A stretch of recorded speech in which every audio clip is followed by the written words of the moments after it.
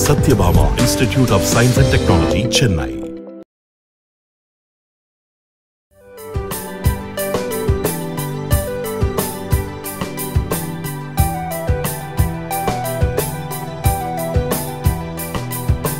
Thoothukudi மாவட்டம் சாத்தான்குளம் பகுதியை சேர்ந்த பேச்சித்தாய் என்ற பனிரெண்டாம் வகுப்பு மாணவி கடந்த ஒரு மாதத்திற்கு முன்பு தனது வீட்டிற்கு மின்சாரம் இல்லை என மாவட்ட ஆட்சியர் செந்தில் ராஜுக்கு வாட்ஸ்அப் மூலம் தகவல் தெரிவித்தார்.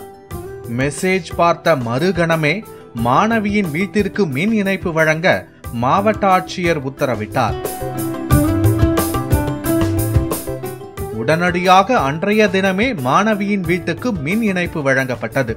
அதோடு மாணவிக்கு மாவட்ட ஆட்சியரின் நிதியில் இருந்து வீடு கட்டி கொடுக்கவும் மாவட்ட ஆட்சியர் உத்தரவிட்டார்.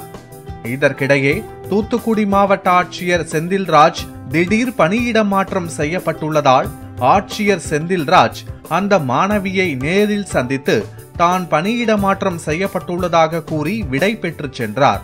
அப்போது மாவட்ட ஆட்சியர் செந்தில்ராஜ் அந்த மாணவிக்கு புத்தகத்தில் கையொப்பமிட்டு வாழ்த்திச் சென்றார். மேலும் அந்த மாணவியின் தம்பி மாவட்ட ஆட்சியருக்கு சிறு பரிசினையும் வழங்கினார். Sathyabama institute of science and technology Chennai